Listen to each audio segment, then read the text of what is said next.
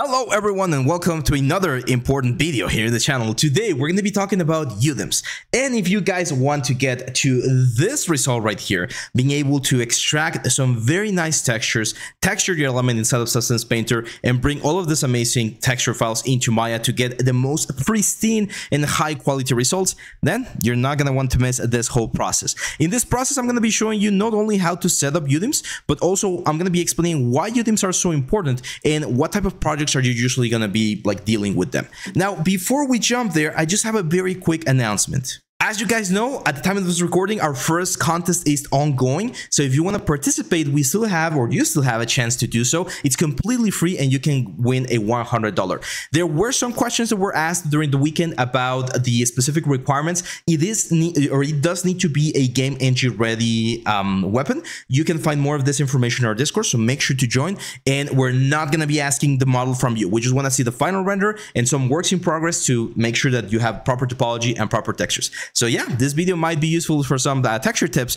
but you're probably not going to be able to use UDIMs. So let's go to the video. Very well, let's start then with the basics of understanding what UDIMs are, why we're going to be using them, and how we're going to set them up.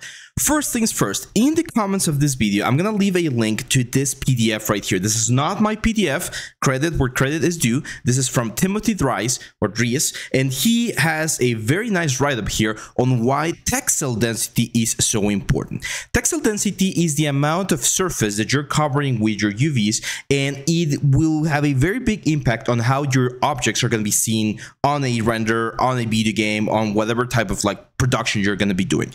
It's not very often that you're going to be working with specific texels. Like, not very often do I get clients telling me this object has to have 60 texel resolution or whatever. But it is important to understand why texels are important. And Maya has a very cool tool to check what the current texel resolution of your object is. So, as you can see right here, this is my typical UV. This is the cannon that I have right here. This has more cuts than what you might normally see on objects like this, but it's important because we're going to be doing something a little bit later with the UDIMs. So if we grab all of the islands right here and we go to the transform tab of our object and we check the transform information, you're going to see that we have this option right here, which is the tool to know what the texel density is for our object. Let's say we're going to be using 2K maps, so 2048, and I'm going to say get. And if I click on that button, we're going to get a four units of texel density, which means that we're going to have four pixels for every centimeter of surface that our object has. That's way too little. It's it's very little resolution, and that means that if we were to texture this cannon, even if we try doing amazing textures, we're not gonna have enough resolution. And I'm actually gonna show you right now. Always keep our UV maps inside the one-to-one -one space. Usually that is the rule, but in this particular case, we're again gonna break that rule and we're gonna start moving all of these islands, scaling them up, and occupying way more like space than what we normally would. In this case, I want to occupy 16 squares. So we're going to make this as big as roughly this size right here. And if I check the texel resolution now, we should have 15 or 16, which is four times more than what we have. So ideally, we're going to get the exact same texture that we have right here, but it's going to look four times more uh, refined or sharpened than what we have right here. Now, we, we're not just going to do this. This is not the, the way to do it because um, we're going to have some issues. So the way we're going to be using UDIMs is as follows.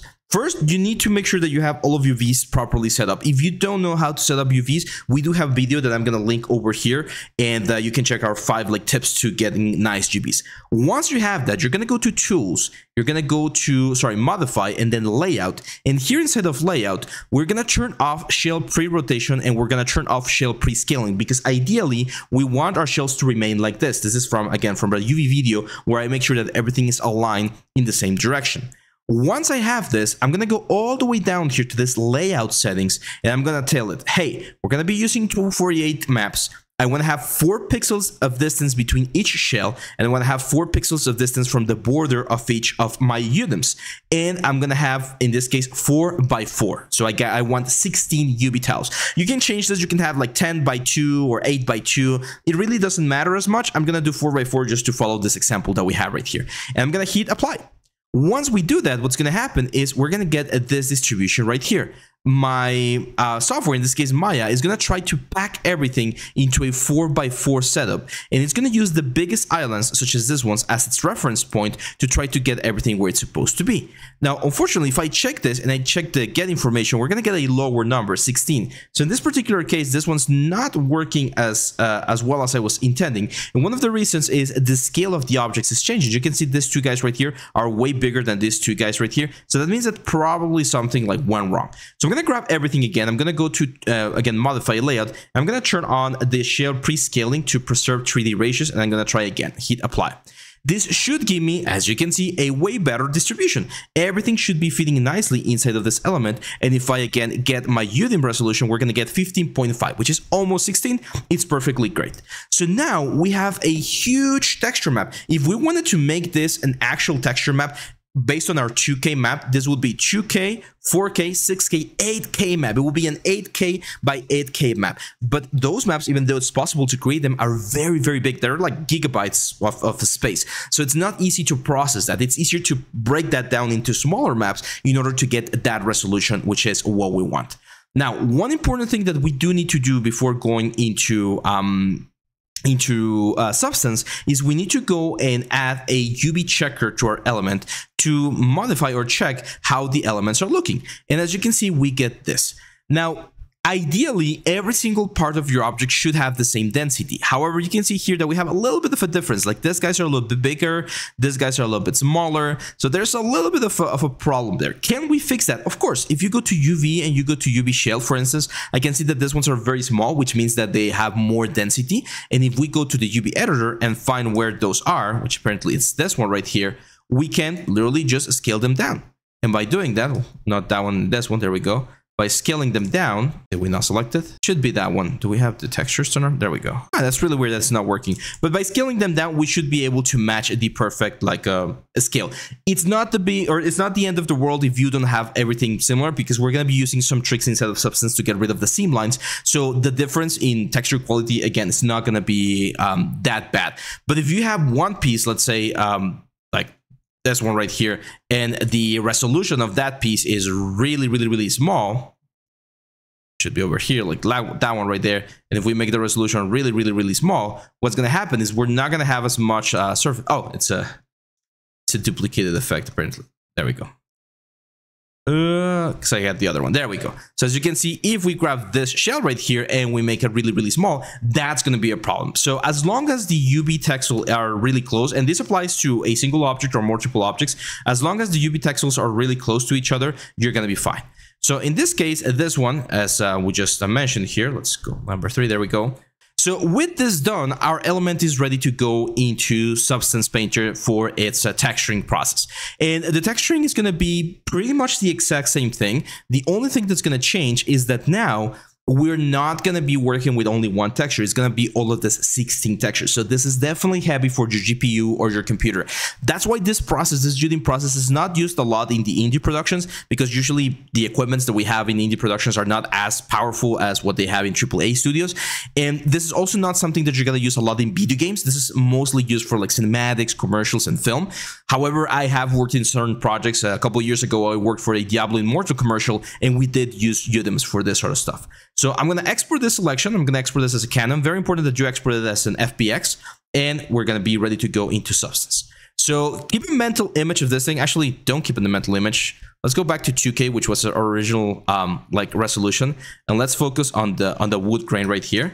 I'm going to grab my snipping tool and I'm going to save a copy so that you guys can compare the difference that UDIMs make. I'm to now create a new file here inside of Substance. It's to be a 2K and very important, if we're using UDIMs, we need to use this option that says use UV tile workflow. We're to select our Canon and we're to hit open and hit OK. Save. Actually, no, we don't want to save that one. File, new, Canon, okay, 2K. OpenGL is fine because it's to be going into Arnold and use UV tile workflow. And we discard. Perfect. So our cannon is right here. We have 2K textures, but what the difference is now over here, you're to see all of our tiles. In this case, we should have about 12 tiles, if I, or sorry, 16 tiles, if I'm not mistaken. Wait, did I not save this thing properly? Let's make sure that we have the proper thing right here. Oh, this is an old one. What the hell? Give me one second. Let's redo that real quick. There we go. So as you can see now we have our 16 tiles over here, all of these tiles. We got the 1001, 1002, 1003, and so on and so forth. 16 tiles at 2K, which again would be equivalent to an 8K uh, resolution or an 8K element. If we grab again our rotten wood and we go here to layers, we're going to be able to drag and drop this into layers and this will apply every single UDIM. So instead of just painting one slot, we're painting all of the things at the same time. Now I'm going to change this to triplanar projection again. And if you remember, we did a tiling, I believe it was a tiling of five. We're going to hit OK. And now if we look in here, look at that. We can actually see every single part of the detail. It's pretty much the exact same like uh, like marks and everything, but now we're actually seeing the detail. One thing I'm going to do here is I'm going to turn on the height information so that we can actually see all of the all of the damage of the wood right there. I'm probably going to bring it down. So I'm going to go to my height menu and just bring the height information a little bit lower so it's not as intense but look at how nicer and crisper this texture looks this is what's going to allow me to be able to generate and create textures that are going to look way way more intense and more important specifically on closer shots. Now you can see here as I move this thing, it's updating a little bit slower. Why? Because it needs to think about 16 tiles. So it's pretty much as if I was like texturing 16 different cannons at the same time. So again, as I mentioned, it's a very cool process, but it's definitely something that's a little bit complex as well gonna bring the roughness down a little bit so we can see a little bit more of that effect. Now, the way we're going to be getting rid of all of those seam lines, because we did need to cut the object a little bit more, is again by using triplanar projection. Let's go here into mask mode and let's select uh, object mode select all of these guys. Usually when working with UDIMs, I do recommend working at 2K resolution. And then if you need to export everything at uh, 8K at or 4K at the at the end, because if you try to work at 4K, it can definitely be a little bit heavy. I have a 3080 Ti, so I have enough like like video card memory and I can still struggle with uh, with this sort of things. If you have like a like a 3090 or 4090 with 24 gigabytes of, uh, of texture space, then you might be able to work with it. But uh, in this particular case, I, I don't have that. So I'm gonna go. Let's see for this metal bit over here, or like a metal effect. I'm gonna grab this metal grind. Which is a very cool one. I can again change this UV projection to triplanar projection. Here's a cool uh, trick. You can copy this mask so I'm gonna copy the mask over here, copy mask, and then I'm gonna paste into mask. And then I'm gonna right click and I'm gonna invert the mask. That way I don't have to do any manual selection because the other one was the wood and it's a very, very easy way to, to just mask this thing. Now this thing, as I mentioned, it's a triplanar projection and we can increase the tiling to let's say a three. That way, we're going to get a smaller like detail on the metal. We're going to be able to get a very, very nice effect. So look how close we can get to the object. Like this is how like nice the, the UDIM is going to allow us to work. We can get all the way to this point because it's going to allow us to, to generate a very cool effect. One thing that's very important, even though we don't have a high poly, we can still do the, do the bakes. So I can do like a 2K bake for everything, but keep in mind that we're going to be baking down 16 maps of each of all of the elements right here. So if I hit bake selected, it's going to go through each individual UDIM and it's going to do the normal, the world space normal, the ID, the ambient occlusion, the curvature, the position, and the thickness. It's a lot of information. This is why this project working with UDIMs can get very, very heavy. Usually when I'm working with UDIMs, I try to keep my texel resolution at about 10 pixels per uh, like a unit. And and that's a good amount but there have been certain projects where i need to go like this. And again on the diablo project that i mentioned um, we went to like 40 or 60 like UDIMs per character which is definitely definitely heavy but require for really high productions like those especially if you're working in things like 4k and the like so um, let's just very quickly wait for this to finish and i'll show you a couple of generators to to get this texture looking very very nice so we're going to go back to the painting information. As you can see, everything loads and right now it's running fine. Uh, like uh, as you can see on the cache disk usage, I'm at 96%. So that means that I'm running like very low on the on the amount of memory. I'm not sure if it's the disk that's very getting or getting close to full or if it's the RAM, but it's, it's definitely taxing on your computer. So let's just add two very basic layer. Let's add a rust layer on top of everything. As you can see, it takes a little while to load all of the textures. I'm going to add a black mask. And of course, we're going to be adding a generator and we're going to use our dirt generator. And this is going to give us a very nice like dirt effect on all of the areas where the ambient occlusion is more evident. This one for rust, since it has a little bit of color, I usually like the multiply, which is going to turn everything a little bit darker. But again, if we uh, zoom in in just a second, change this to multiply. Let's try linear dodge. No, multiply should be it. I'm not sure why it's not updating, but look at the detail on the rust. Like that's a really, really, really nice detail. So we can go really clean in there.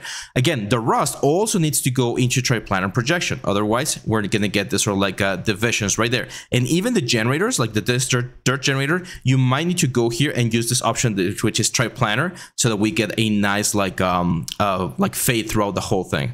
Let's try overlay. For some reason, it's not. Oh, we're in height. My bad we're in height information. Multiply. There we go. So with the multiply because overlay is gonna it's gonna give me a, like a weird color. Actually not that bad. There we go. Now let's do a very like traditional metal edgeware so i'm gonna add this uh like not the galvanized uh metal for let's just this metal, metal brushed. I'm gonna add a black mask and i just want to do this and the little wheels right here so we had the galvanized metal over there. Again, of course, you need to use the triplanar projection to make sure that we don't get any, any, any weird effect. We're going to add a black mask. We're going to add a generator. And this is going to be, of course, the metal edgeware. Which is going to give us some very nice effects. This one I'm going to multiply against the, the mask, the original mask. And it should give us a, a nice effect. Am I seeing it? Or do we need to increase the wear level? Uh, did I change something? Should be working right here. Metal brush. Is the color too close? Maybe the color is too close. Let's add a black mask. Oh, it should be there. Okay, let's add a generator and the metal edgeware. There we go. It's a little bit close. So I'm going to change this to linear dodge. There we go. And then I'm going to multiply this. And on the mask, I'm gonna select that guy. There we go. As you can see, it's hitting all of the all of the wheels and stuff very, very nicely. I'm not doing the fancy tricks that we normally do for the for the metal in this case, I'm gonna keep it like this so that we can appreciate all of the like little details. But again, like look at how clean and, and nice this looks. And once again, I can change this 2048 to 4K, which would essentially bring my texture from 8K all the way to like 32K or something like that. Because from 4K to 8K, it might seem like you're doing twice, but it's not twice, it's four times. Remember, anytime we're talking about textures, it's always exponential growth. Uh, I just want to do one more layer here. I'm going to go on top of the wood. I'm going to add a flat color this is going to be a like scratches that I want to add. So let's just go for like a nice like pale wood right here. Let's increase the roughness and the height. I'm going to bring it down. I'm going to add a black mask and I'm going to add a fill layer. This is going to be a scratches. And you can see all of the scratches right there on the wood. Again, look at the detail. We get a very nice detail thanks to the fact that this map allows us to have this much amount of, of element. Even we're even getting some scratches on the on the cannon, which I think actually looks quite quite nice. So yeah, that's it for this part. Now we're gonna jump onto the exporting of these textures. So here's how we do it. We're gonna go to file and I'm gonna go to uh, export textures and we're to export at 2K. Again, uh, as I mentioned, you can export this at 4K, but I don't want to go overboard with this element. I'm to create a new folder here on the desktop called Canon. And here on the Canon folder is where we're to export everything. In this case, we're to export this for Arnold. So it's to be Arnold AI Standard. PNG is fine. And we're just going to hit export. And what's going to happen is we're going to be exporting all of the sets of elements that we need base color, emissive, height, metalness, normal, and roughness for one of each of the different UDIM sets. And we get all this full information right here. It's a lot. It's a lot of information. If we go to the desktop right here and we check the um, the folder, you're going to see that we have a total of 200 megabytes for the whole element. Now, I know that we don't need the height information, so we can delete that. We're only going to need this, which is color, metalness, normal, and roughness. That should be more than enough. If we want a displacement, we can use height. In this case, it's totally fine. But still, like this is almost 191 megabytes of texture information. It's a lot, but it's a lot smaller. 191 megabytes, it's a lot smaller than a 1K texture. Usually one, a 1 4K texture, it's about 50 megabytes per each image. So that would be like just one set of 4K textures would be 50 megabytes. per texture, so that's 200 megas. It would be like one gigabyte if we wanted to make this a 4K texture. So again, UDIMs are a very good way to do it. The only thing that's a little bit tricky about UDIMs is the connection, but in Maya, it's actually very simple. We're just gonna go to Maya. I'm gonna assign, or actually I'm gonna use the Substance plugin. I'm gonna go over here to Substance. I'm gonna use this button that says Apply Workflow to Materials. And in this map, I'm gonna go and grab only the first one, the one that says 1001 of the base color, of the metalness, of the normal map, and of the roughness. And I'm gonna say select.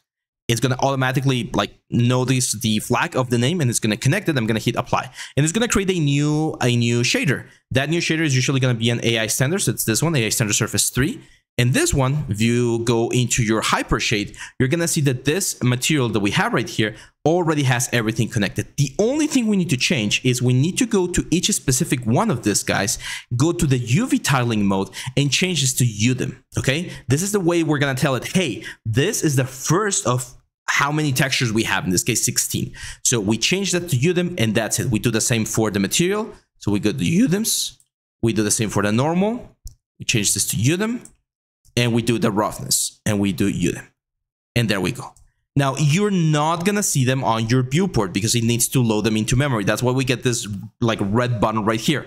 My advice, if you don't need it, don't do it because again, this is extra memory. And if you're going to do it, try to do it a low quality such as 1K and only do it for the color just so that you see where things are. And if I generate a preview, now the textures are going to load. I'm going to start seeing some of the textures like the wood elements over here. You might need to load everything else, but you can see how they're right there. And don't worry too much about this because this is only important at render time. A lot of people, when they're working on this sort of things, they use this little button right here, which is the default material, and you're just going to see everything gray. And then in render time, things are going to look good. Now, I do have my own little like setup right here, except for the uh, HDRI. I think this one's missing. So let me just like bring another one right here like this at Dancing Hall. There we go. And let's go to our camera. And let's go panels, look through select. I'm going to change the resolution of this thing. So let's go for a traditional full HD. Go really close in here. Like this. And I'm just going to move this thing down a little bit so it looks like this thing's sitting on top of it. Everything else should be properly like uh, calibrated. So I'm going to save the scene real quick and of course, one other thing that I'm going to do is I'm going to go to my system. I'm going to be using GPU and we're going to hit render. So I'm going to hit render and the first thing that's going to happen, remember this, the first thing that's going to happen is that all of the textures are going to be converted to TX files, which is going to take a little while. So let's hit render. Okay, so Maya crashed, uh, and it was a little bit of expected. I actually, I, I think I asked it a little bit too much. I, I, had other things open, such as Substance. So here's another trick that we can do.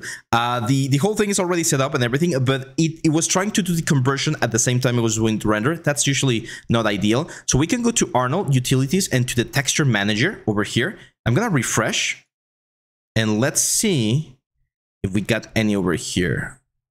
Should be working fine. Do we have the UDIM set up? Yes, the UDIM setup is right there. So technically on the utilities object texture files, there we go. We're going to be processing all of the textures.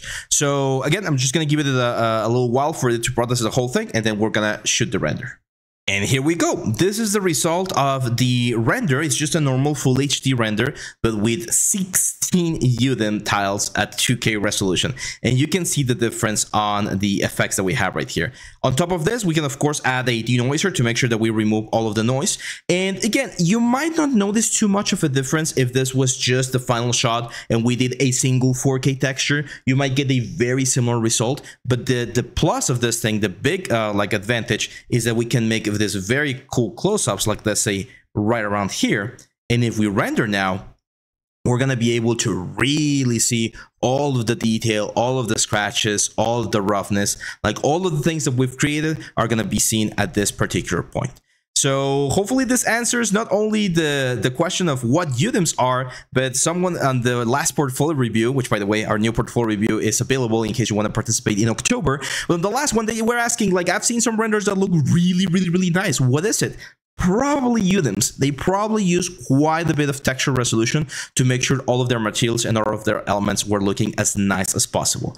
So yeah, this is it, my friends. I know it's a little bit of a technical topic It's not used everywhere, but it's really powerful. It's especially used, you're gonna see this a lot in big elements. So imagine you are watching a movie and you're watching like this huge, uh, like a mecha or whatever, like huge robot in Pacific Rim.